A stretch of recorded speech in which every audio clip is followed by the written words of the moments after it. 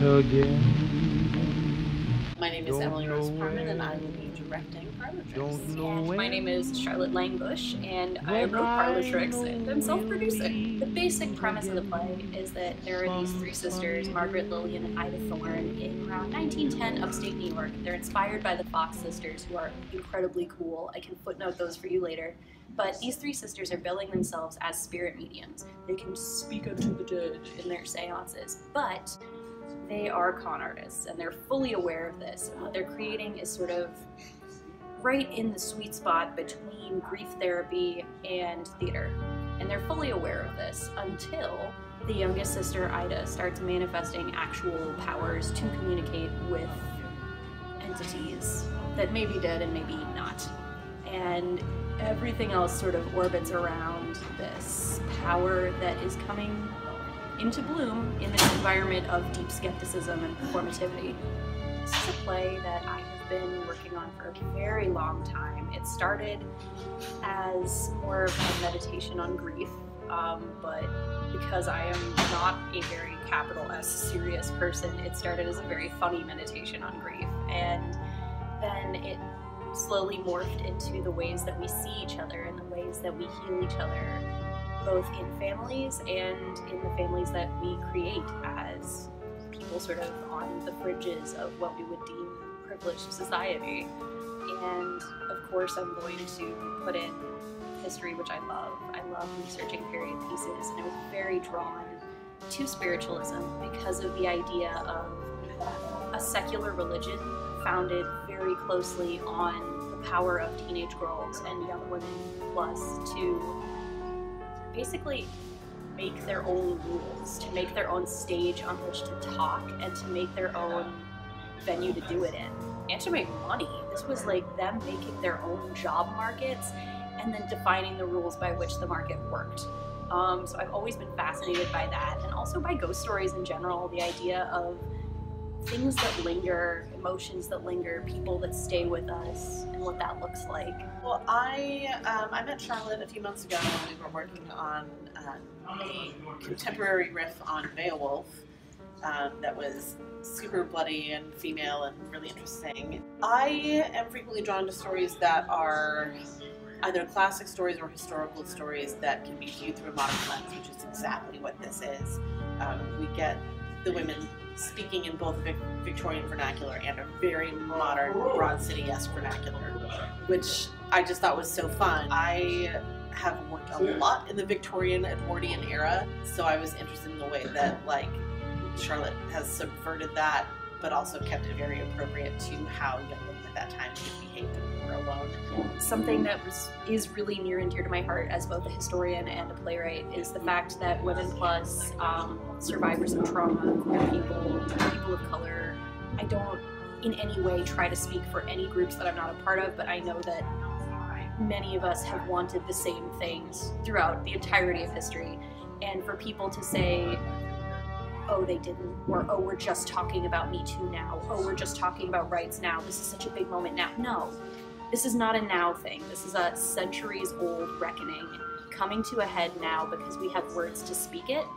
But as of 1910, people have always wanted the same things. And by making the dialogue a little bit more anachronistic, I hope to make the struggles of being a woman plus, being queer, being a survivor, being really anything that's not straight cis white and male in 1910 a little bit more accessible to today's audience and to make things more immediate. We've always wanted the same things. We want to be seen, we want to be respected, we want to be treated as people.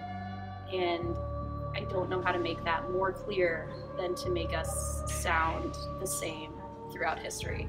Fresh Fruit Festival is one of the leading festivals in the New York art scene for interdisciplinary LGBTQIA plus art, um, specifically theater, performing art, dance, storytelling, stand-up, anything where we're in front of people and there are people watching. Um, I think that's what the Fresh Fruit Festival captures, and it's incredibly inclusive, really lovely. Works come in through all stages of development. We're opening. They picked us to open. So it's their 17th season, and it's a really big season this year, especially because we're just coming off the heels of the 15th anniversary of Stonewall and World Pride. So And of course, Parlor Tricks is super queer. Um, one of our major love stories is a lesbian love story. Um, there are sex positive undertones, there are kink undertones, there are overtones of all of this. It is extremely, extremely thirst positive and fuckboy shaming like yours truly. Hello. So we value inclusivity really highly. Of course, the real 1910s Gilded Age upstate New York is not known for its inclusivity. It pretty much was awful to anyone who was not cis, straight, white, and male. Um, our version of that world, while somewhat true to its actual historical inspiration, does create that little pocket of the world we want to live in. That world where we're not fully at in 2019, but we try and build it where we are. We'll be playing at the Wild Project on July 8th, 10th, and 13th. Uh, there are different times, but you can catch us on the website, which is freshfruitfestival.com. You can find us on Facebook and Instagram. And Twitter. Don't forget Twitter. Twitter. Thank you so much, and we'll see you at the festival. We applaud your staunch hearts. I'm getting a message from the spirits. Spirits, do you want people to donate to this amazing show? They do! Hey, so as the producer of this show, um, most of this, most of the actor salary, the space rentals, all of the costs have been from me. Um, and that has been very hard. And we are basically paying our actors bare minimum. And I would love to be able to pay them more. I want to be able to pay these people what they're worth instead of what I have, which is not much. And I they're worth everything. They, some of these people have been with the show since I first had a developmental read in 2018. Um, and I really, they're family at this point, and I don't want to stiff my family. This is the most heartfelt plea I can get. Please give me money so I can pass it to them. I also would love to use some of it on special effects, but most of it's just gonna go to these amazing artists. You saw Emily, you saw how impassioned she is. She's put just as much of her heart, soul, and wallet into this project as I have. Basically, I I just I want to pay all of the amazing artists that we've got, not just with the sad dusted bats that my wallet has in it. They'll So please, if you've got it in the goodness of your hearts to help us out, kick us ten bucks. We have a lot of really, really sweet rewards. Um, we've got you could get a custom reading from the Thornes. You could also get a tarot reading from me. You could get signed posters and scripts. I did a lot of research into this show would be overjoyed to make you an annotated bibliography. We a supernatural snack pack um, because women eating is such a huge part of this play. We have a really sweet T-shirt that I can send you the graphic for. And also, our campaign is a Fractured Atlas one, so any donations that you make to us Yeah, are tax deductible. again.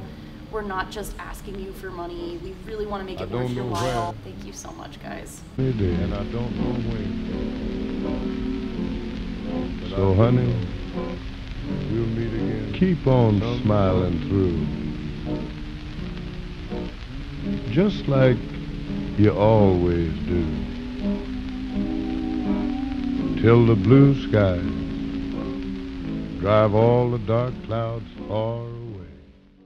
We can do that one time. You're One more time, one more the time. spirits are speaking. They are telling us what this line is.